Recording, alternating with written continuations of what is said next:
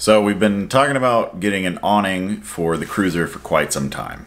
And if you have a Land Cruiser 100, you know that the factory roof rails on the OEM roof rack are really cheap and flimsy plastic. We had our Yakima rooftop box up there, so they were fine for that. But when we got the awning, we bought the OVS 270 Nomadic awning, and it's about 75 pounds. So the uh, factory rails weren't going to cut it. I started doing some research on some roof racks, and if you know anything about aftermarket roof racks, you know that they are absolutely insanely expensive. And uh, yeah, I didn't want to be spending that kind of money. I started searching around trying to find like a DIY or just a cheaper solution that could maybe even use the OEM roof rack as a base. And luckily, I Hate Mud, which is, if you don't know, the um, Land Cruiser specific forum on the internet. Lots of fantastic people there, uh, lots of great information there. And I stumbled across this user who had bought some 80-20 aluminum bars for roof rails. So I'll show you what they look like. So they come and it's just a, it looks like a Prinsu rack or, you know, some of those aftermarket roof racks. Basically, all you have to do uh, is buy the stuff on their website. Uh, you can get it pre-cut to exactly how long you need it. And then you buy this hardware that goes, slides into these channels on the outside. And this allows you to attach it to the OEM roof rack. So I bought three of these. I think uh, total came out to around $150 and it was maybe $20 for shipping. Uh, and I bought these from tnutz.com. You heard me right. Tnuts with a Z. T-N-U-T-Z.com. Yeah, I was a little sketched out by the website, but it is what it is. uh, so, um, you know, I couldn't find any. I found some information online about this uh, on YouTube, but I didn't find much in the way of converting these to fit onto an OEM roof rack. So uh, I wanted to put together a video to show you exactly what that all looks like, um, show you a quick install, and uh, yeah, you can, uh, if you have a 100 series Land Cruiser, you can upgrade the the OEM roof rack pretty cheaply. Uh, you know, you can buy a lot of these and basically have the exact same setup as you would with uh, an aftermarket style roof rack. Uh, certainly doesn't look as cool, I guess, but I mean, who cares, right? I'll uh, I'll put my order list from the website down in the description. Um, don't be a fool like me uh, and make sure you order the correct length. Um, I needed 44 inch and uh, I accidentally put a fractional length on the order. So they came out, I think around 45, a little bit less than 45, like 44 and 13 sixteenths. Um, so thankfully my friend McKenna works at a van build shop, so she uh, graciously cut these down to size for me, and now they fit great. Yeah, why don't we go uh, get this installed? Uh, just in case you were wondering, here's our awning.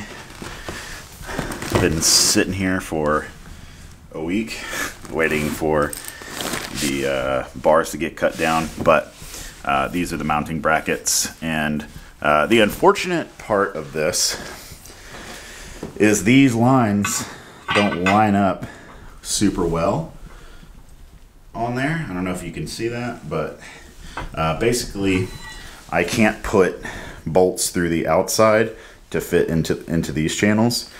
So I think I'll just have to compromise and uh, kind of have this sit a little off center and just have a few bolts in there to uh, secure it down. But that's no big deal. So this is what the hardware ships as. These little triangle pieces. You take a bolt, slide it through, and this little little fella here slides into the side channel or the top channel and then you can uh, bolt stuff down. So uh, I'm gonna get some Loctite on all of these just to uh, make sure that this doesn't rattle loose while we're driving down the trail. So let's do it.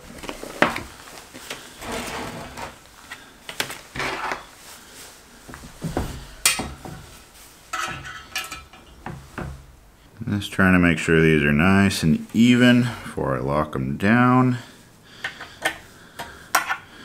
So I don't have to uh, take them back off. All right, got it on there.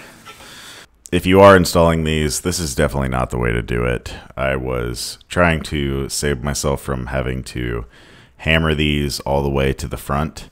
Uh, so I took a little magnet and grabbed the T-track bolt and kind of slid it into the rack and behind the bracket. It would have been much easier had I just put the nut on and then had a mallet to scoot it all the way to the front.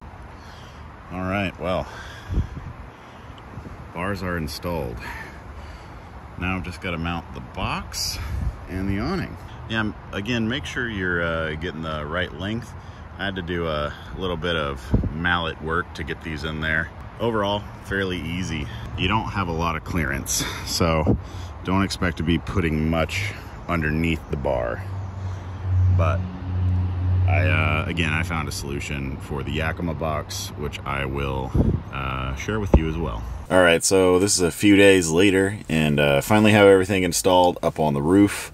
Um, I ran into some issues with the Yakima box. Originally, I thought I was going to have more clearance under the bars between the roof and the bars.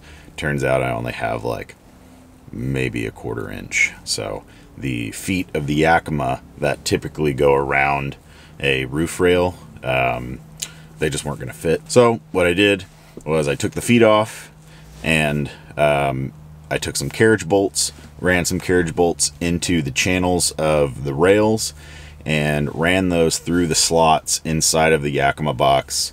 Put a washer on, put a bolt uh, nut onto the bolt, and um, yeah, it's working super well. And it actually brought the box a little closer to the roof, so I think it might uh, help with wind and stuff like that. Hopefully, this whole video comes together pretty well. Um, I think it's a really easy solution, really cheap solution, and uh, it's great, especially if you have uh, an OEM rack with uh, slots that you can install these on because you're only spending maybe $200 uh, or maybe a little bit more um, if you want more bars. It's such a cheap, great way to get that modularity that a lot of aftermarket roof racks have and for a fraction of the price. Uh, hopefully this was helpful. If you liked it, if you made it all the way to the end, uh, sorry if this was a little jumpy or roundy because uh, yeah, I'm not I'm not very good at filming the uh, DIY